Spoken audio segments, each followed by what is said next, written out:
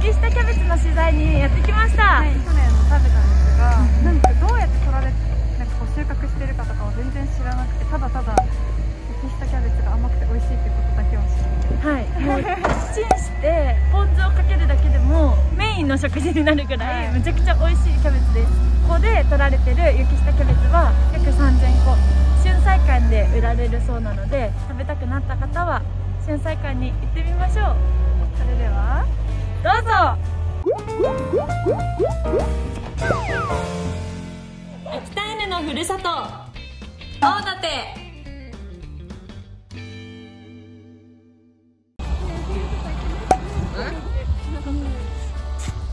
へえトラックの運転してる、うん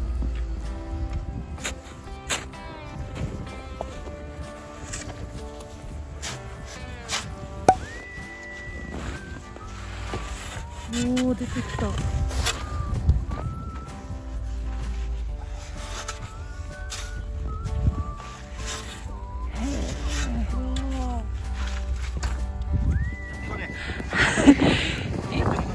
でか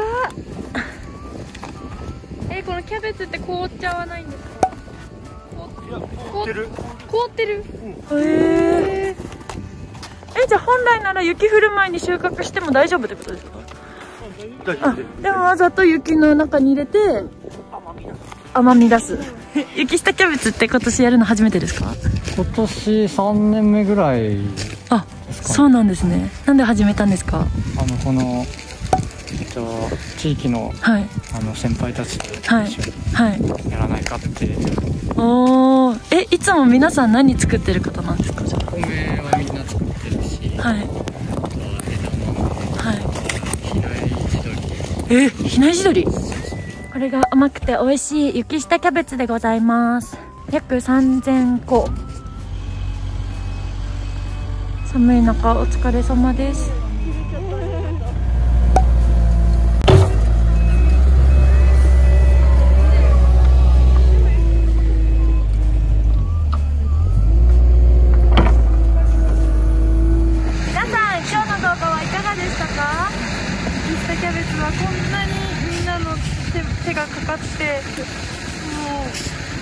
食べたい。